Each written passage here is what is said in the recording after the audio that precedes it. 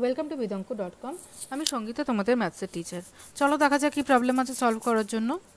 বলা হচ্ছে, এক ব্যক্তি বছরে সিক্স পার্সেন্ট সরল সুদে ফাইভ হান্ড্রেড টাকা ঋণ নেন এবং প্রথম ঋণের ঠিক দুই বছর পরে বছরে ফোর পার্সেন্ট সরল সুদে নাইন হান্ড্রেড টাকা দ্বিতীয় ঋণ নেন। প্রথম ঋণ নেওয়ার কত বছর পরে তার ওই দুটি ঋণ সমান হবে এবং ঋণ দুটির মোট সুদ কত হবে? সেটা আমাদের নির্ণয় করতে হবে। তাহলে ধরে নিই যে প্রথম ঋণ নেওয়ার এক্স বছর পরে ঋণ দুটির সুদ সমান হবে। তাহলে ধরি প্রথম ঋণের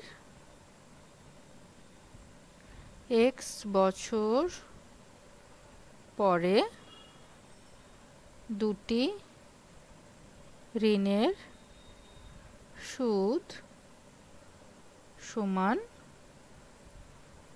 হবে। ওকে তাহলে প্রথম ঋণের ক্ষেত্রে আমরা সরল সুদ কত হবে এক্স বছরের? সেটা নির্ণয় করি। তো প্রথম ঋণের ক্ষেত্রে আমাদের কাছে ডেটা কি কি আছে? সুদের হার। সুদের হার, যেটা কিনা আমরা আর ধরি, সুদের হার আর হচ্ছে সিক্স পারসেন্ট ঠিক আছে? আর আসল দেওয়া আছে, দেখো আসল হচ্ছে কত? ফাইভ হান্ড্রেড আসল পি হচ্ছে পাঁচশো টাকা ফাইভ হান্ড্রেড রুপিস ওকে আর সময় সময় কত? সময় টি সময় টি হচ্ছে আমরা ধরেছি এক্স বছর, তাই তো এক্স বছর পরে সমান হবে ঋণের ঋণের সুদ, তাহলে টি হচ্ছে এক্স বছর, অতএব এক্স বছরের সুদ কত হবে? সুদ হবে formula P R T by hundred তাই তো? পি হচ্ছে পাঁচশো আর হচ্ছে ছয় ইন্টু টি টি হচ্ছে এক্স ওকে টি হলো এক্স বাই হান্ড্রেড তাহলে জিরো জিরো ক্যান্সেল হয়ে গিয়ে থাকছে কত? থার্টি এক্স তাহলে থার্টি এক্স হচ্ছে এক্স বছরের সুদ। আচ্ছা এবারে দু বছর পরে দ্বিতীয় সুদ নেওয়া হয়েছিল তো? তাহলে দ্বিতীয় সুদের ক্ষেত্রে আমরা আবার দ্বিতীয় সুদের ক্ষেত্রে আবার সরল সুদের পরিমাণ বের করব। এক্ষেত্রে সুদের হার R equals to four percent আসল আসল পি দেওয়া আছে নাইন হান্ড্রেড আর সময়। সময়টা খুব ইম্পর্টেন্ট এখানে। সময় দেখো, সময় এখানে কত হবে? দুই বছর পরে দ্বিতীয় ঋণটি নেওয়া হয়েছিল তো? তাহলে দ্বিতীয় ঋণের ক্ষেত্রে সময়টা তাহলে হবে X minus two T equals to হবে এক্স মাইনাস টু অতএব সুদ কত হবে তাহলে?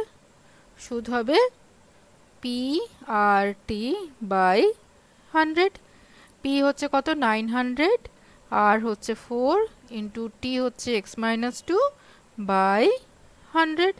জিরোগুলো ক্যান্সেল হয়ে গিয়ে কী থাকল? দেখো ন চারে ছত্রিশ তো thirty six into X minus two তাহলে এটা হচ্ছে সুদ এক্স মাইনাস টু বছরে। ওকে?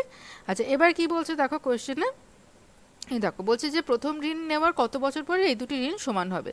তাহলে এই যে এখানে ঋণটা পেয়েছি থার্টি এক্স, আর এখানে যেটা পেলাম thirty six X minus two এই দুটো ইকুয়াল তাহলে প্রশ্ন অনুসারে thirty X equals to thirty six into X minus two okay তো তাহলে thirty X is equal to thirty six X minus seventy two thirty X যদি এটাকে বাদিকে নিয়ে আসি thirty six X is equal to minus seventy two minus six X is equal to minus seventy two minus minus cancel হয়ে গেল, তাহলে X is equal to seventy two by six that equals to twelve তাহলে কি answer হলো দেখো? বারো বছর পর প্রথম ঋণ নেওয়ার বারো বছর পর দুটি ঋণের সুদ সমান হবে। ঠিক আছে? এটা আমরা একটা পার্টের আনসার পেলাম। এবারে আরেকটা পার্টে জিজ্ঞাসা করছে, দেখো, যে দুটো ঋণের মোট পরিমাণ কত? দুটো সুদের মোট পরিমাণ কত? দেখো, ঋণ দুটির মোট সুদ কত হবে নির্ণয় করতে বলছে? তাহলে প্রথম ঋণ হচ্ছে থার্টি এক্স আর দ্বিতীয় ঋণ হচ্ছে thirty six X minus two এই দুটোকে যোগ করি। মোট সুদ, ওকে? মোট সুদ আমাদের এটা সেকেন্ড পার্ট মোট সুদ আমাদের নির্ণয় করতে হবে। মোট সুদ কত হচ্ছে? Thirty X plus thirty in thirty six into X minus two তাহলে যোগ করো thirty X plus thirty six X minus seventy two তাহলে এটা হচ্ছে sixty six X minus seventy two এবার এক্সের জায়গায় মান বসাও, আমরা পেয়েছি বারো। তাহলে sixty six into twelve minus seventy two এটাকে গুণ করলে হয় বারো ছয় বাহাত্তরের দুই, হাতের সাত, বারো ছয় বাহাত্তর বাহাত্তর প্লাস সাত যোগ করলে হবে উনআশি সেভেন্টি নাইন টু তো then it will come seven two zero ঠিক আছে? সাতশো কুড়ি টাকা। তাহলে মোট সুদ হলো সাতশো কুড়ি টাকা। ঠিক আছে? এটা হলো সেকেন্ড পার্টের answer okay thank you for watching Bidanka dot com অঙ্কের আরও প্রবলেম এবং সলিউশনের জন্য আমাদের ওয়েবসাইট অবশ্যই ব্রাউজ করো।